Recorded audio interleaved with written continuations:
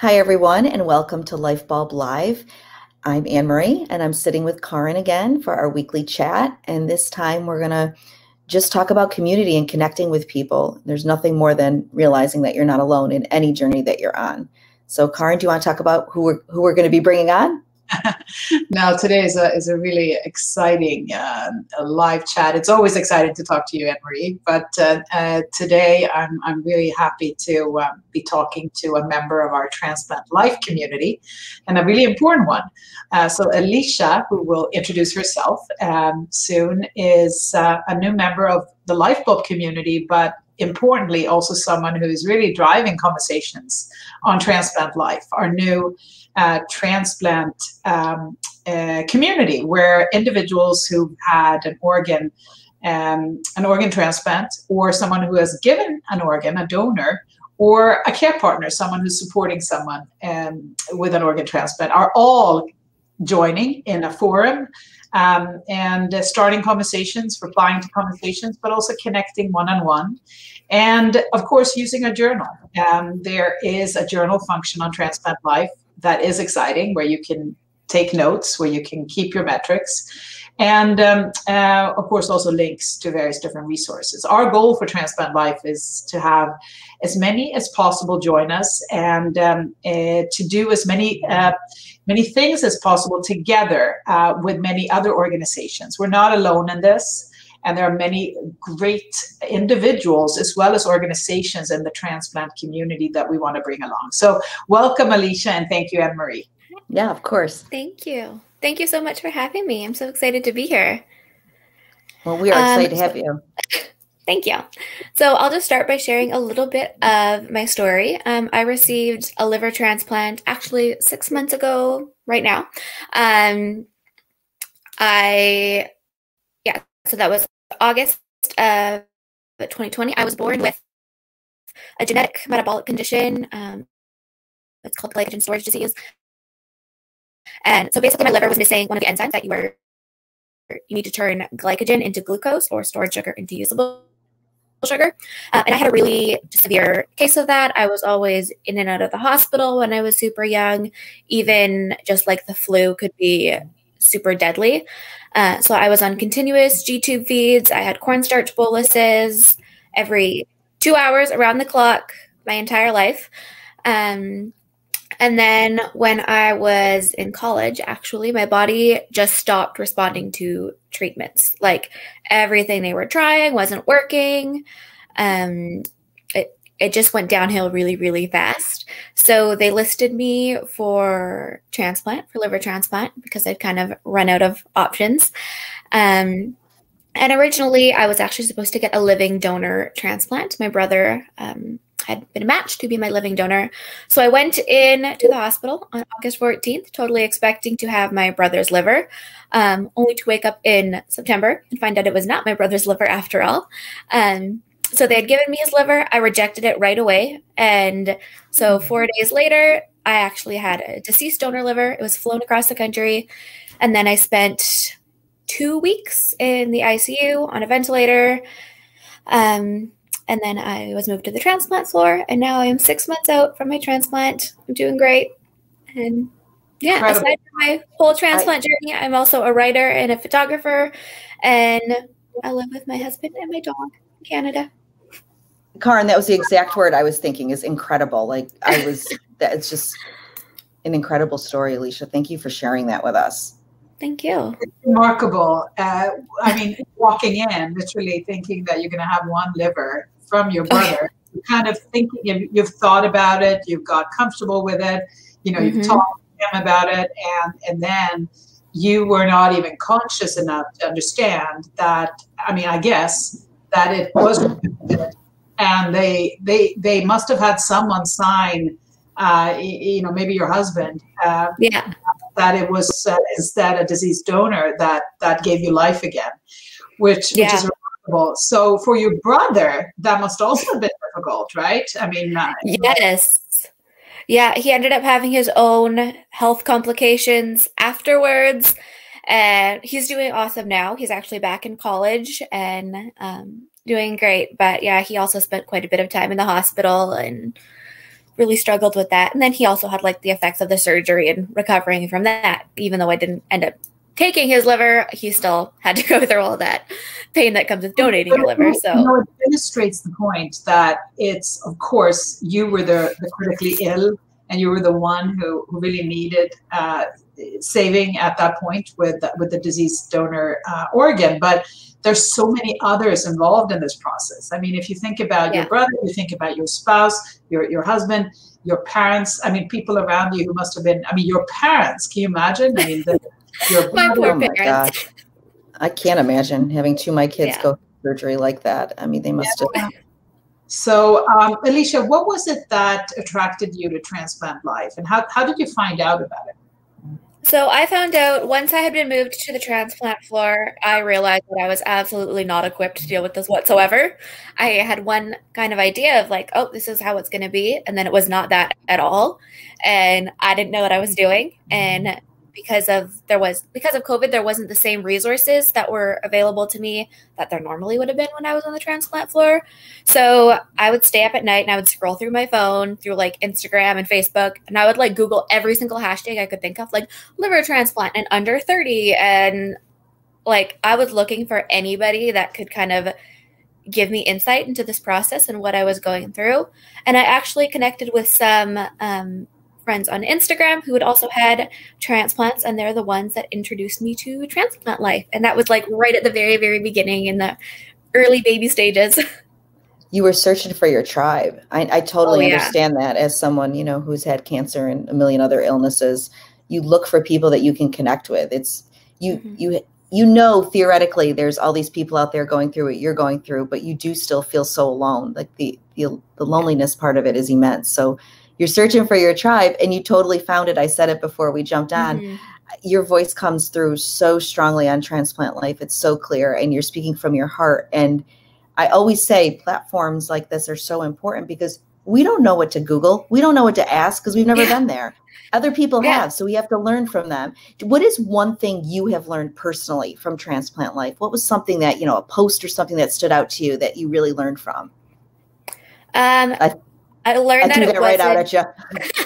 no, I learned that I wasn't weird. Like I was going through all these things. I'm like, oh, other people have did this too. I'm not behind. I'm not like the only one who's experiencing this weird physical like reaction to my incision site, or like I got super emotional about my donor and knowing that like this was a deceased donor and this liver used to be inside of someone else and now it's in me and like to know I wasn't the only one that was feeling that was so helpful. Mm-hmm. That's really interesting. And do you also feel that you have helped others? I hope so. No, yeah, I really tried to be transparent and share my story. Yeah. Because that's that's part of the healing as well. I mean, you're so oh, yeah. new to it, um, but when you reach that point, uh, when you're not just searching for answers, but you're also providing, and I think you have because I've learned from you. Uh, thank you. And I read your responses, and I I learn from you. And it's really it's really interesting um, for someone. I'm 12 and 11 years out, uh, and I'm more uh, you know so I have more experience than you. But uh, and we don't have the same organ, I kidney, pancreas, but still it's pretty similar. There's similar similarities, mm-hmm. and I think I'm not sure. I, I wish when I was six months out that I had had this kind of connectivity because yeah. for me it was really trying to put one foot you know the other. I i, I was really trying just every day. And i saw it as an everyday but i didn't have that place to go where as Annmarie says the tribe or or the the the the, the group of people or that one person.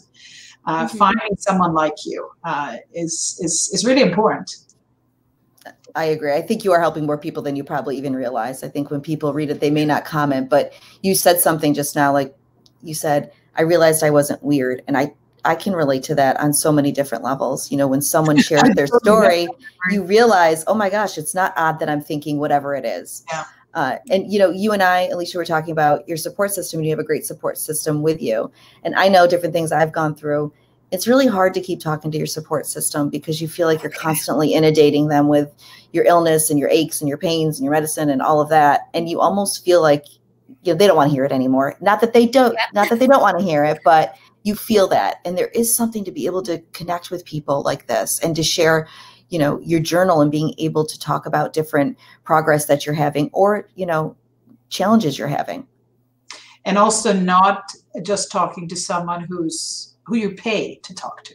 Yes. So there, there's something with that and maybe it's because i'm not american but i i never fully understand the therapist. I don't understand the therapist. oh girl i need my therapist. I'd be lost without my therapist. That's my bff i like to speak to people who are there because they actually want to be there and and they're mm-hmm. not just there to to to get paid to listen to my problems. So I I, I really appreciate this kind of community. Um, and you don't want to download only on your friends who are not in the same position. So there's there's a point to this community.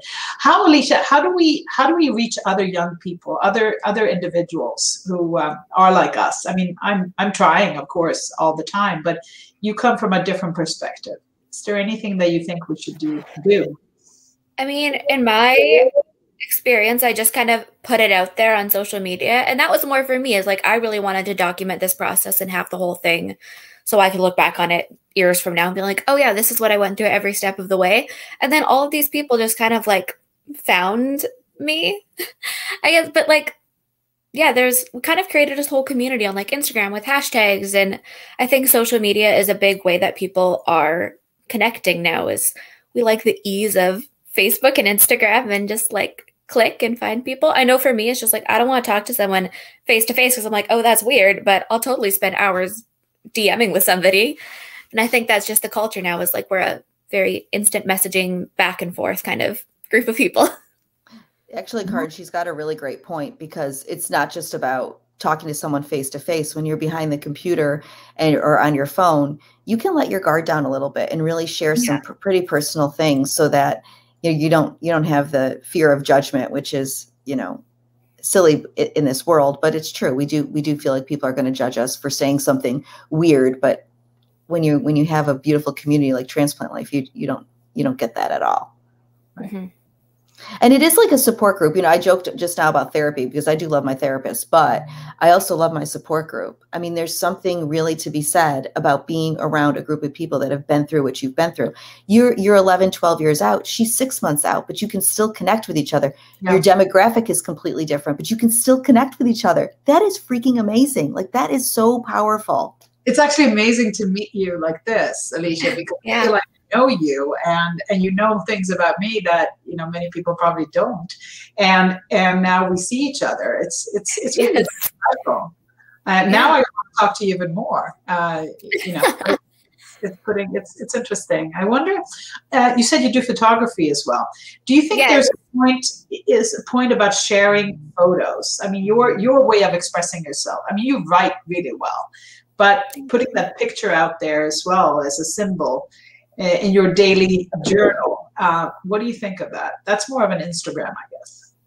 Yeah, well, that's something I just really got into after my transplant, actually, because I needed a way to, when I couldn't talk, I needed a way to express what I was feeling. And I found I could create really powerful images and really powerful contrast in the hospital, which is an area that, you know, you don't normally see photographs happening in a hospital. It's not really the best like most aesthetic setting or whatever. But I found that I could really show people a different part of my experience and I could see it in a different way myself when I was looking through my camera and intentionally being an artist creating art rather than a patient stuck in the moment and spiraling and you know I could kind of take myself out of that and be an artist which I found really just was really helpful for my healing journey.